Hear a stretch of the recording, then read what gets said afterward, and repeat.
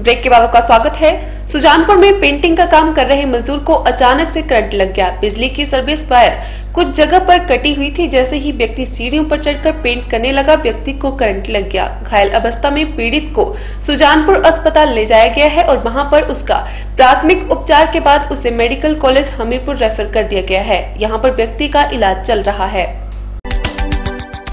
सुजानपुर में पेंटिंग का काम कर रहे मजदूर को अचानक करंट लग गया। बिजली की सर्विस वायर कुछ जगह पर कटी हुई थी।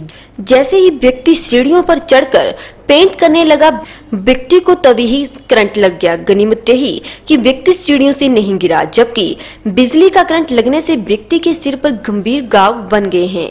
घायल अवस्था में पीड़ित को सुजानपुर अस्पताल ले जाया गया है। यहाँ प्राथमिक उपचार के बाद इसे मेडिकल कॉलेज हमीरपुर रेफर किया। यहाँ व्यक्ति का इलाज चल रहा है। जानकारी के अनुसार, संतोष कुमार निवासी ब्लेड मजदूरी का काम कर रहा था। व्यक्ति सुजानपुर में एक मकान को रंग रोगन कर रहा था। इस दौरान मकान के साथ गुजर रही बिजली की सर्विस वायर से व्यक्ति का सिर लग गया। सर्विस वायर कटी होने के कारण व्यक्ति को करंट का जोरदार झटका लगा। करंट के कारण व्यक्ति झुलस गया। तथा सर पे गहरा गाव हो गया। घायल अवस्था में व्यक्ति को मेडिकल कॉलेज हमीरपुर में भर्ती करवाया गया है। यहाँ उसका उपचार चल रहा है। बताया जा रहा है की व्यक्ति खतरे ऐसी बाहर है।